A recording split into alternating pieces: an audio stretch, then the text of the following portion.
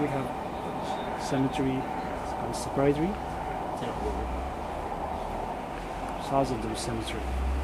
Thousands? Yeah. And each temple has each cemetery